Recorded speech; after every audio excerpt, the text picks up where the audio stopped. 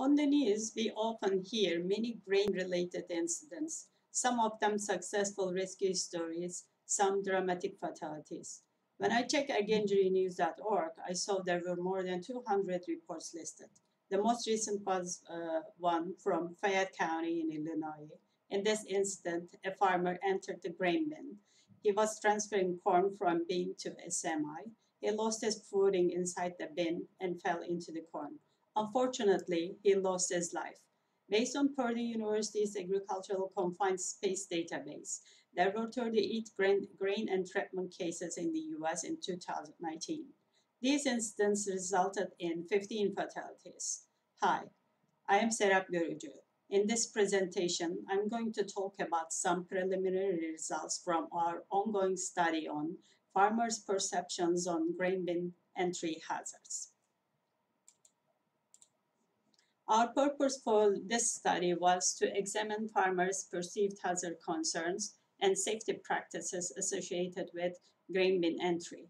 We developed a survey study, both online and paper forms. Our focus area was Pennsylvania, New York, and Maryland, and our target number of participants were 32 from each state. The survey had total 28 questions on hazard concerns, safety practices, and production type and demographics. So far, we have collected 61 data, 38 from Pennsylvania farmers and 23 from New York farmers. Some of the survey data collection was also combined with a grain safety presentation by Penn State Ag Safety Extension educator Steve Brown and our graduate student Michael Dyer. Based on the preliminary results, grain engulfment and bean counted auger were listed the two major perceived hazards associated with grain bin entry. The other hazards were fall inside grain bin, hazardous gases, and air quality and dust. Participants indicated that they have entered on farm grain bin average 13 times in the last 12 months. 62% of the participants entered a grain bin alone without an observer, and most of had no emergency response plans.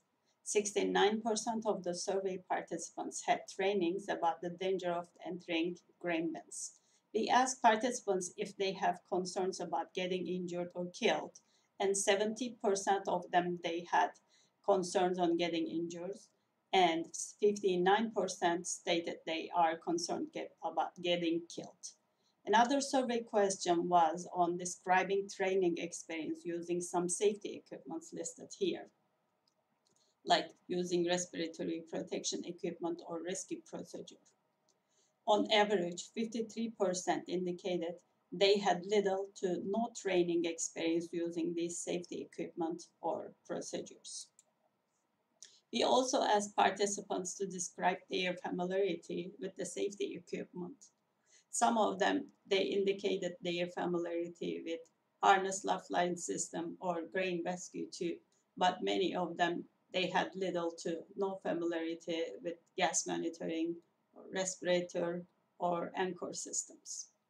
Another survey question was determining farmers' perception on the value of these safety equipment for a safe grain entry. Nearly 80% of the survey participants acknowledged the value of using these safety equipment for safe grain entry.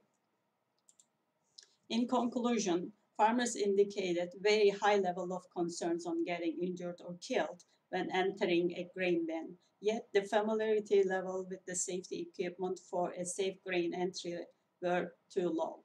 We all know the best way to be safe is not entering the grain bin. However, farmers need more trainings for safe entry practices if grain entry is necessary.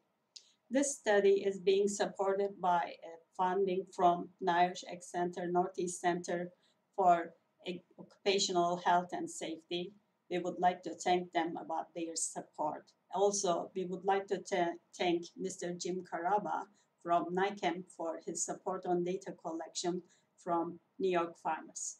Thank you.